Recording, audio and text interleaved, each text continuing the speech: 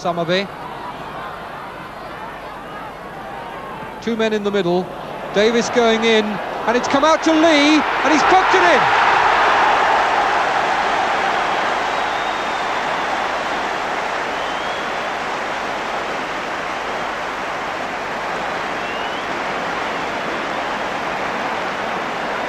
Nearly 14 minutes into their third game of the season, Manchester City get their first goal from this cross by Summerbee, with Davies harassing Keelan so he can only palm it out.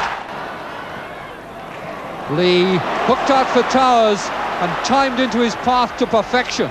And Lee back in there again. Lee. And a good save by Keelan.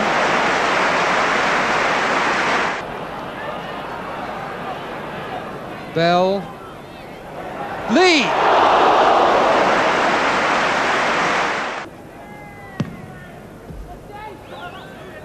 Booth's header.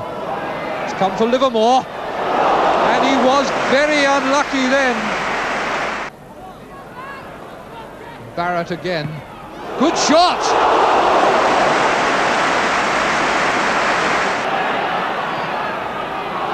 And that was a very bad ball, and here's Davies in. Terrible ball by Anderson. Paddon on the ball. Played for Stringer, who's hit it well!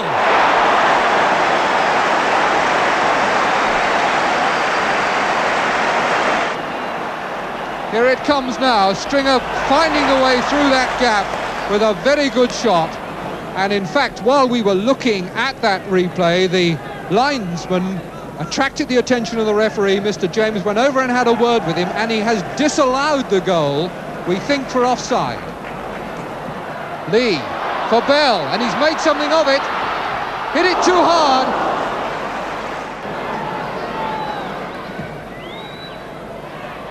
Good header by Booth. Bell, and handball, it's in! Payne tried to touch it off, but Bell had scored after Booth had worried Keelan in the air.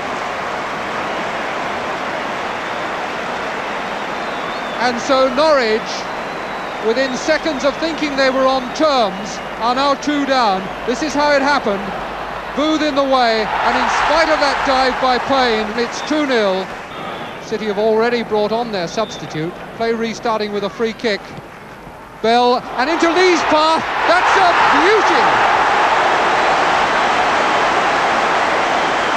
That was a superb goal.